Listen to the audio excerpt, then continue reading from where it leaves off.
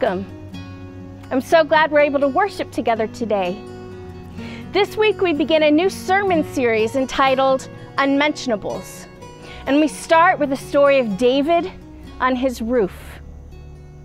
As we prepare to hear God's word, let us calm our hearts and our minds to do so.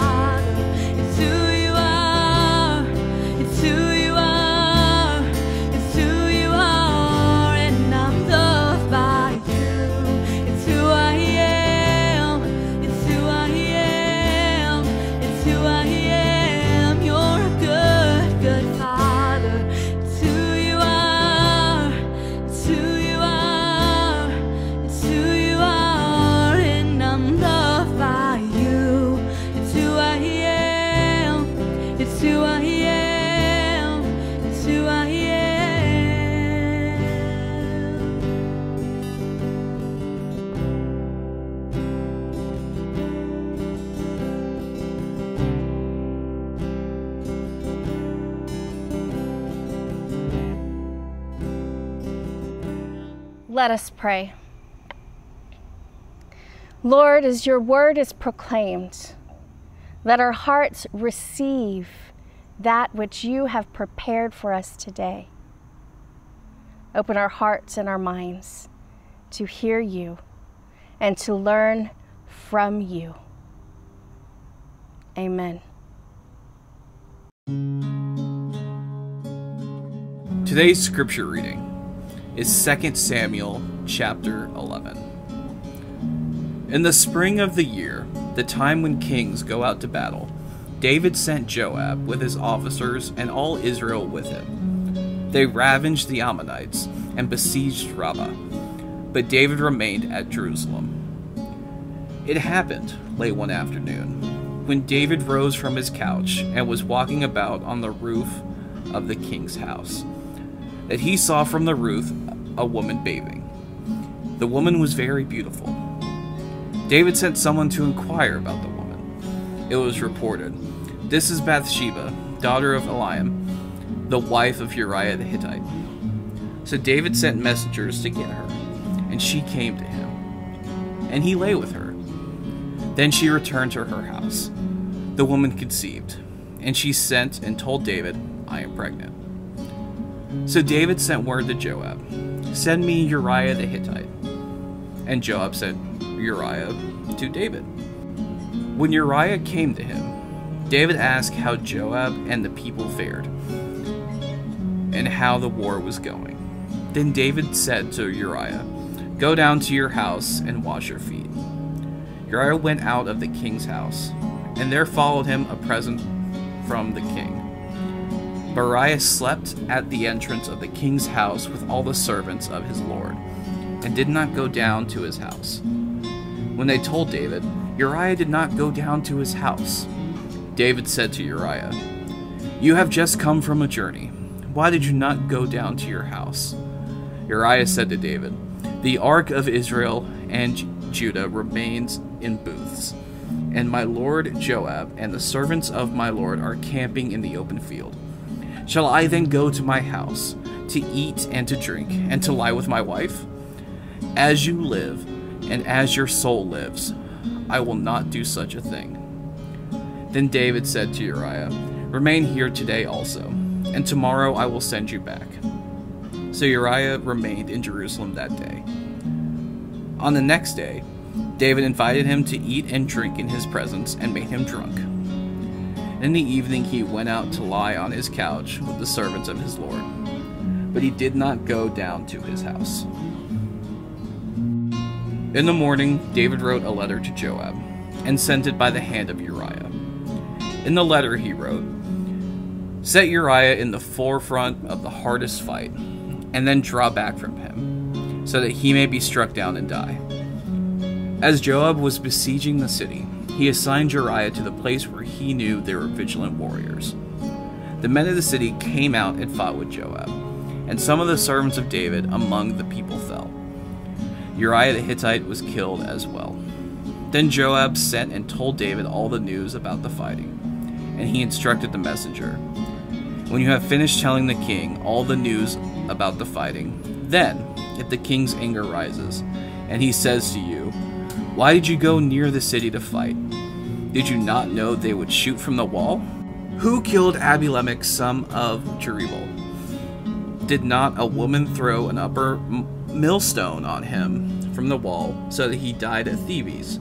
Why did you go so near the wall? Then you shall say, Your servant Uriah the Hittite is dead too. So the messenger went and came and told David all that Joab had sent him to tell. The messenger said to David, The men gained an advantage over us and came out against us in the field, but we drove them back to the entrance of the gate. Then the archers shot at your servants from the wall. Some of the king's servants are dead, and your servant Uriah the Hittite is also dead. David said to the messenger, Thus you shall say to Joab, Do not let this matter trouble you, for the sword devours now one and now another. Press your attack on the city and overthrow it, and encourage him. When the wife of Uriah heard that her husband was dead, she made lamentation for him. When the mourning was over, David sent and brought her to his house, and she became his wife, and bore him a son. But the thing that David had done displeased the Lord. This is the word of the Lord. Thanks be to God. When my boys were little, they played all the time with my best friend's son. They were all the same age. There was one day we were visiting my friend's father, who had a lot of land, a big backyard. The boys ran around all day. And at one point during the day, we gave them slices of watermelon, big slices. And as you can imagine, by the end of their snack, they were covered in watermelon juice. Sticky fingers, sticky clothes. They were a mess. And since they were outside, we told my friend's dad, just go ahead and hose them down. Let them take off their clothes and hose them down. He looked at us with a question on his face. You mean all the way down to their skivvy drawers? Yes, all the way down to their skivvy drawers. The boys ran around in their underwear and waited till they got dry again. To some, it's called skivvy drawers. Others, underwear. For some, underclothes. And for some people, unmentionables. Whatever we call the items we wear under our clothing, most of us agree that we don't want anybody to see them. We want to keep them private, close to our skin. We don't want anybody to see our unmentionables. Now, the same is true for life events. There are some things we'd prefer to keep to ourselves. Things we have done that we'd never like to show to others. Unmentionables. Now, King David had a terrible episode in his life, one he surely wished to remain unmentioned. We just read the story David, the one called a man after God's own heart, gave in to a horrendous temptation. And he had committed adultery, he coveted, he lied, and he murdered. Now, let's start with Bathsheba. I've always seen paintings and drawings of Bathsheba bathing on her roof in plain sight of David, who watched from his own roof. But I was wrong. The scripture clearly says something different. It says, it happened late one afternoon when David rose from his couch and was walking around on his roof. He saw from his roof a woman bathing. Now, at this time and place in history, people bathed in a courtyard of their homes, a hidden place surrounded by trees and shade. Now, as I was reading articles about this scripture, would you believe that some people were commenting that Bathsheba was to blame for this whole thing because she was bathing in plain sight. But that is just not true. She was bathing in a courtyard while David watched from above. Now, honestly, who is immune to from the temptation of looking at a beautiful person without clothes? Some of us resist that temptation. But David did not.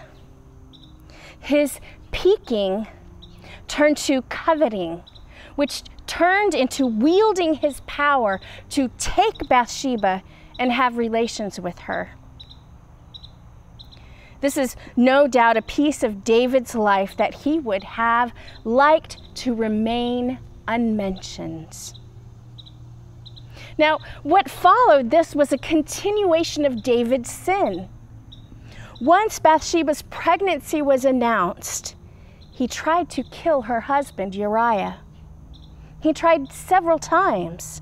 And when Uriah's moral character remained steadfast, David arranged for Uriah's death in the battlefield.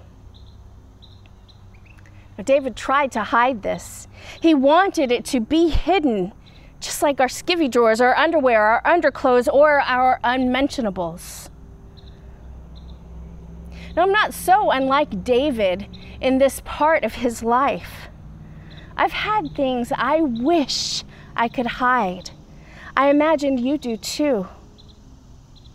I don't know if I've told you this story before, but once when I was in middle school, our church youth group was going to Six Flags.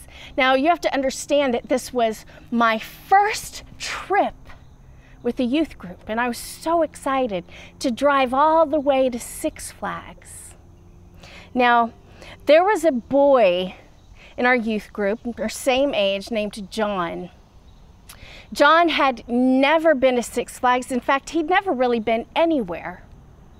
He worked very hard to mow people's lawns and to do chores to save money for this trip. But to my group of middle school girls, we thought John was a little weird. He wasn't like the other boys. Yet, because he didn't have any friends, he decided to come with us, with me and my girlfriends you know, to a middle school mind, that was horrifying. And then what we did was even more horrifying. We entered the park. We asked him to sit by the fountain right near the carousel. And we said, We're going to go to the restroom. We'll be right back. Wait for us. And then we went to the restroom and we snuck behind it and went on our merry way. At the end of the day, when we all met up again, the whole youth group ready to, to get on the bus, John was still there in that place. The rule was we couldn't go anywhere by ourselves. And he obeyed and he stayed there alone. I hid that for years. And then one night, as I was working with middle school kids in the youth group, and I'd been talking with the girls as an adult, as an adult youth leader, I was talking with the middle school girls about how mean they had been to another youth group meeting to another member of the youth group. I was talking to them how, about how unkind they were being. And then that memory of Six Flags hit me. And I realized I needed to air out my unmentionables. Now, afterwards, I shared that story I told the girls what I had done. Their response was something akin to, Miss Anna, that was so mean. I responded, Yes, yes, it was mean. And I am embarrassed to have hurt somebody so harshly. Now, because of that admission, our conversation turned to how the girls might make amends with their friend who they were mean to and to ask them for forgiveness. I did the same thing. years later, I asked John for forgiveness. Now, the end of our reading today has one simple sentence. What David had done displeased the Lord. I have done many things that have that displeased the Lord. What can I do about it? What did David do about it? Well, God sent the prophet Nathan to speak to David. He told David that God knew what he had done.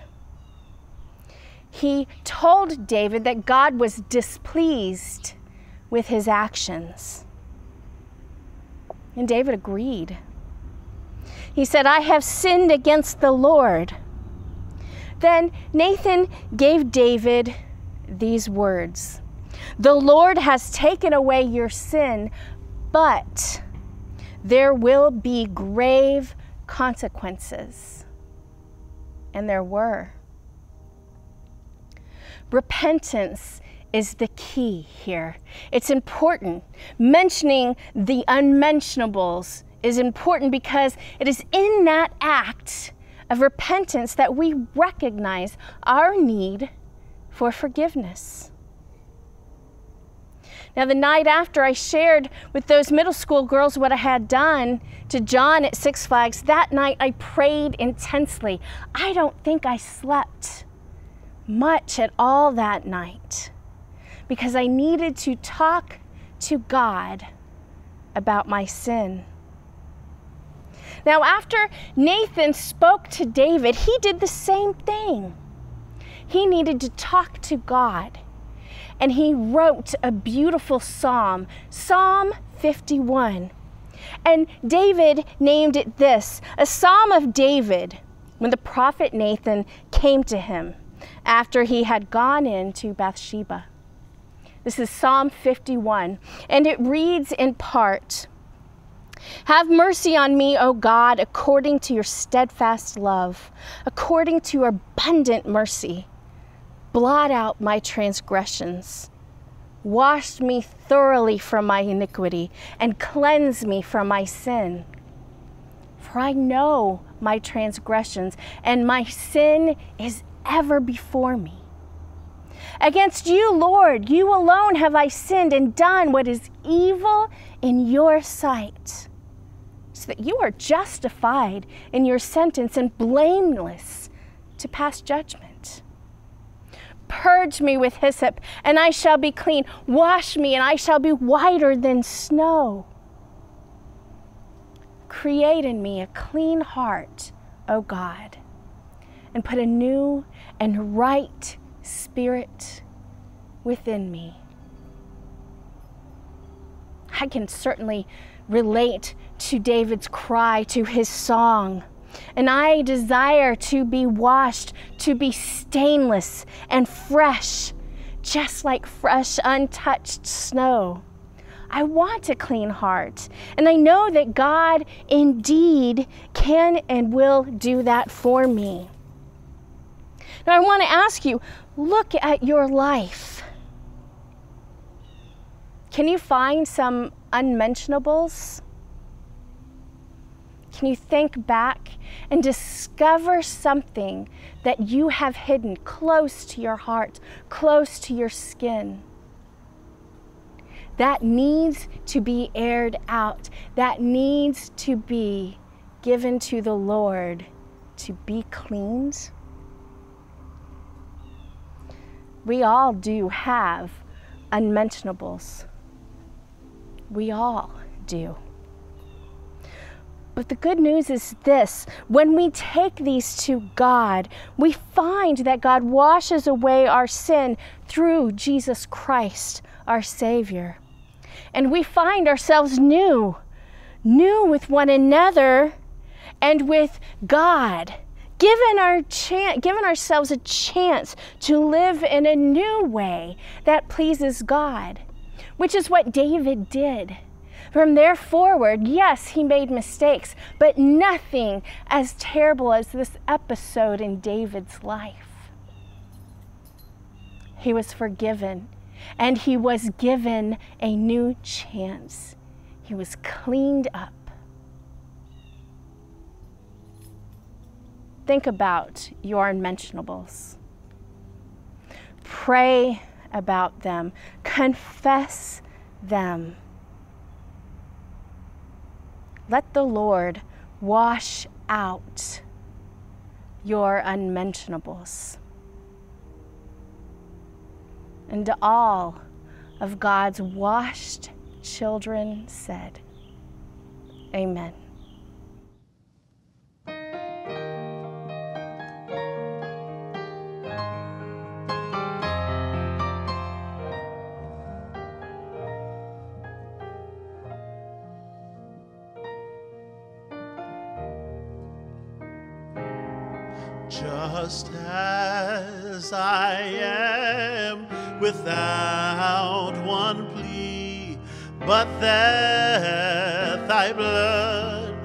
Was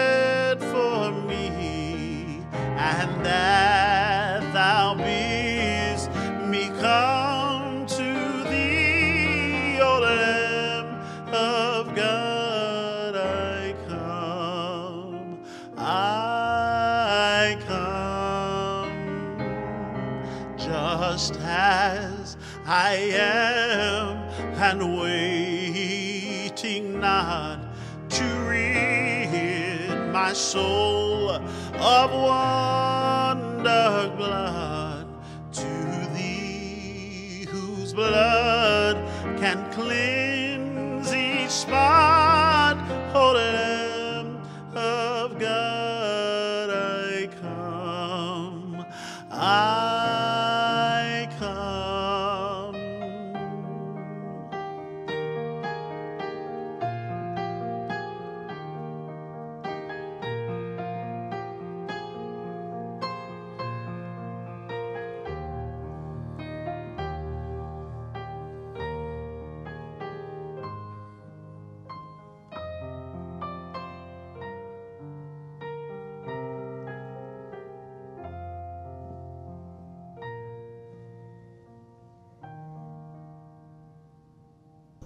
May the Lord bless you and keep you.